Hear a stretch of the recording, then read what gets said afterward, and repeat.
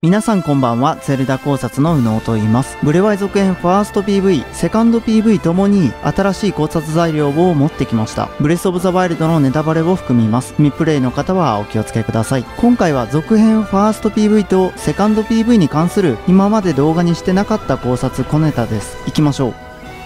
まずは続編セカンド PV に関することです。ちょっと前の動画で大型ダンジョンが浮いているのかもと言っていた雲の中、右上奥の巨大な神殿のような何かですけど、よく見ると上半分が黒いドームのようになっているように見えませんかね。見方によっては雲にも見えるんですけど、周りの雲と比べても見る角度が変わっていくのに形が変わらないように思います。ブレワイに出てきた謎の民族ゾナウの遺跡の一つ、真っ黒なドームで覆われたドイブラン遺跡なのかなとあの映像からするとかなり遠くにあってあれが水流の石像だとすると大きさが合わないんじゃないかとも思えるんですけどブレワイ作中ではめちゃくちゃ遠くにいる真珠や遠くのタワーなども迫力を出すためなのか目印にするためかは分かりませんけど大げさに少し大きめに表示してる感じでしたのでそこはクリアできたのかなと思いました。大きさのバリエーションがいくつかあってリンクが近づくにつれてそれを切り替えていってるような作りに見えたんですよね。ゲーム上の仕様だと。今まで見えていなかったのに向かっていくと急に建物や木が現れたりするのもそういった構造だからかと思います。実際セカンド PV の遠くに見える木たちも距離の割には少し大きめに表示してあるように思います。あの神殿っぽいものがドイブラン遺跡かと考えて試しにブレワイ作中のドイブランの周りをあの水流の石像っぽい横向きの出っ張りがあるか見に行ってきました。結果は一つだけドームの外に突き出た水流の石像があったんですけどあの映像と同じ角度から見ると手前の木々が邪魔して画面に映らないはずなんですね。空に上がっていく際に土の内側神殿本体にくっついてる水流の石像だけを残して周りの木々は崩れ落ちたという可能性はなくはないですけどところでドイブランの周りって底なし沼がありますよね。セカンド PV で黒いドームのように見える半円は線のカーブ具合から考えて円の上半分くらいまで見えてるように解釈できますがブレワイの方はカーブが緩やかなので上の方しか見えてないという風に解釈することができますかね。氷山の一角というと分かりやすいですか。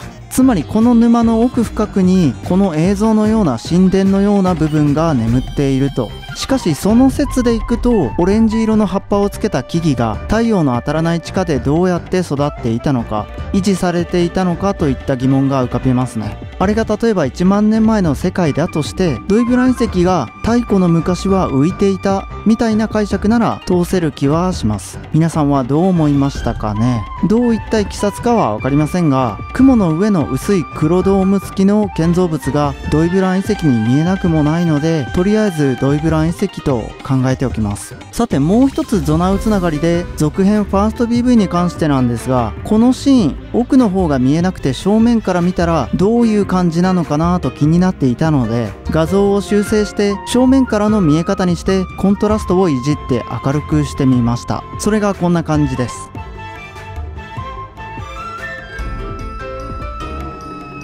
まずまっすぐに立っている高い壁が迷路系のゾナウ遺跡ローメイ遺跡に似ていますよね。描かれているレリーフはあまり一致はしませんでした。リンクたちがいるあたりの水流っぽいレリーフはローメイにもありましたけど他にはこの奥のものが少し前の壁画のガノンドロフのゲルド族の紋章にちょっと似てますかね。メガネみたいなやつ。まあそのレリーフと関係あるかはわからないんですがここはガノンドロフを封印してるように見える場所ですからね。あと映像の最初の方によく見える僕が勝手にゾナウ文字と呼んでいるこの文字はうねうねと移り変わっていきますがところどころにゲルド文字を見つけることができます。どういう法則解読の仕方なのかは知りませんけどこれらを解読した方によるとシールガノンと読めるらしいとは聞いたことがありますね。ガノン封印という意味らしいです。かなり前の視聴者の方にいただいたコメントをきっかけにゾナウは男版ゲルド族だと思うようになりそれ以来新たな手がかりを見つけられていないのでそこで止まってはいますねゲルド文字とゾナウの文字が似ていることがつながればいいですが、でも他のゾナウ遺跡には見られない、これでもかというほど高い壁に水流のレリーフとなると、この映像のゾナウ遺跡も迷路系の遺跡、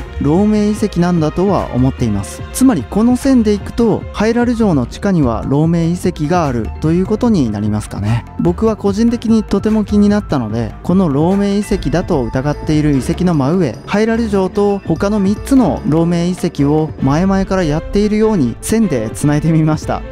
と言いたかったんですがそもそも3つの漏明遺跡を結んだトライアングルの中にハイラル城が位置していたのでそれは叶いませんでしたねこんな結果ですみませんとにかくあの地下遺跡は漏明遺跡だと睨んでいます。この件については壁を真正面から見るとこんな感じになっていましたということが伝えたかっただけですので特にこれ以上話せることはありません。というわけでブツッと切りますが今回は以上です。この動画を楽しめた方は2秒ほどいただいて高評価ボタンをポチッと押していただけるとまた動画作りを頑張れますのでぜひお願いします。ご視聴ありがとうございました。